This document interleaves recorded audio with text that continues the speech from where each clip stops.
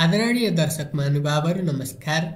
तपाईँहरूलाई स्वागत छ तपाईँहरूको आफ्नै युट्युब च्यानल बिडब्लुआइएसमा आज हामी यस भिडियो अन्तर्गत रहेर टी ट्वेन्टी इन्टरनेसनल र ओडिआई क्रिकेटमा नेपालका लागि सर्वाधिक विकेट लिने खेलाडीहरूको बारेमा चर्चा गर्न गएका छौँ। सबैभन्दा पहिला चाहिँ टी ट्वेन्टी आईमा सबैभन्दा धेरै विकेट लिने खेलाडीहरूको बारेमा चर्चा गरौँ।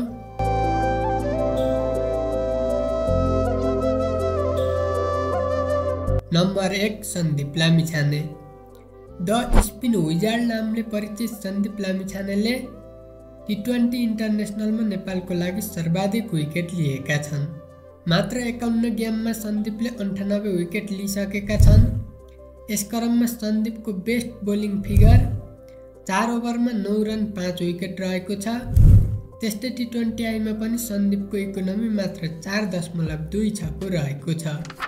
नम्बर दुई Karan KC. The Valentine boy Karan KC नेपालको परिपक्व फास्ट बोलर हुन्। टी ट्वेन्टी आईमा त्रिसठी गेम खेलेका करणले सात दशमलव आठ आठको इकोनोमीमा सतासी विकेट लिएका छन्। टी ट्वेन्टी आईमा करणको बेस्ट बोलिङ फिगर चार ओभरमा एक्काइस रन पाँच विकेट रहेको छ। नम्बर तिन Avinash Bohara. The yorker king नामले परिचित अविनाश यस लिस्टमा तेस्रो नम्बरमा पर्न सफल भएका छन्। टी ट्वेन्टी इन्टरनेसनलमा त्रिपन्न गेम खेलेका अविनाशले सात दशमलव दुई चारको इकोनोमीमा सिक्सटी सेभेन विकेट लिएका छन्। टी ट्वेन्टी आईमा अविनाशको बेस्ट बोलिङ फिगर चार ओभरमा एघार रन छ विकेट रहेको छ। ओभर में दो विकेट लिए। एक बार फिर से यॉर्कर तो क्रशर यॉर्क। नम्बर चार सोमपाल कामी। द गुल्मी एक्सप्रेस नामले परिचित सोमपालले टी ट्वेन्टी आईमा साठी गेम खेलेका छन्।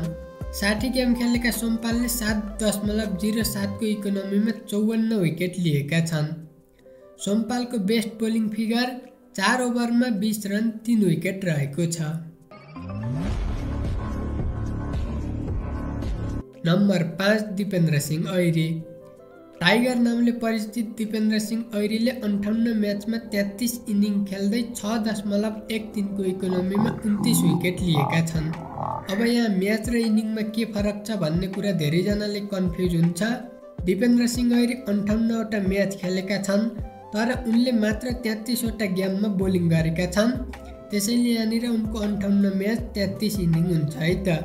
त्यस्तै दिपेन्द्र सिंह ऐरीको बेस्ट बोलिङ फिगर चार ओभरमा चार विकेट अठार रन रहेको छ।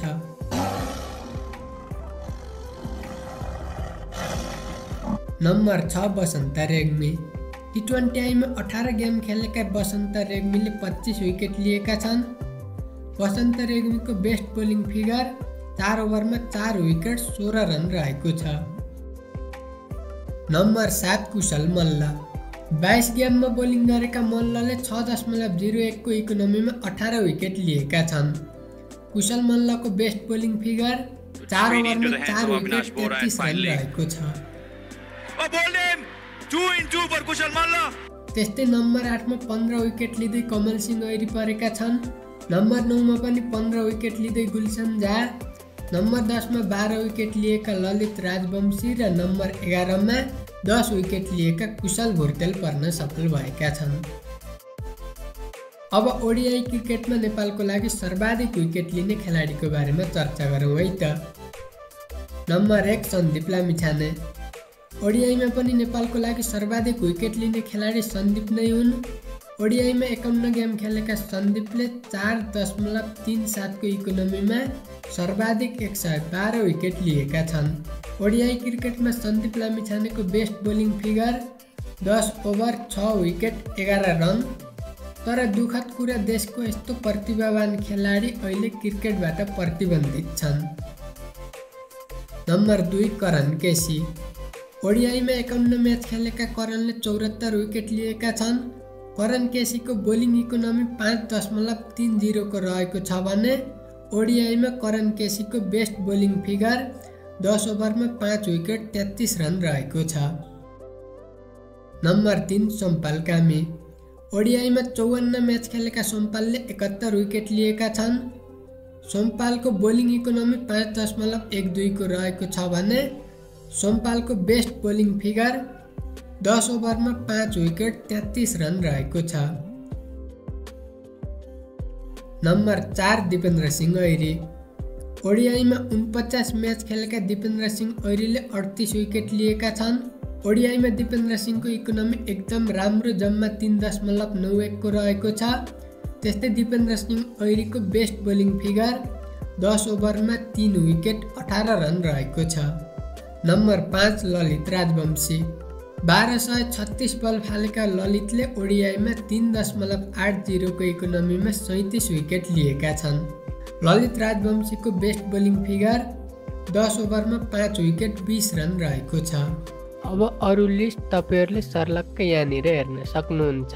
तपाईँहरूको फेभरेट बोलरको कमेन्टमा लेख्नुहोला अनि नेपालको लागि सर्वाधिक रन आनेका ब्याट्सम्यानहरूको लिस्ट हेर्नु तपाईँले यो भिडियोमा क्लिक गर्नुहोला धन्यवाद।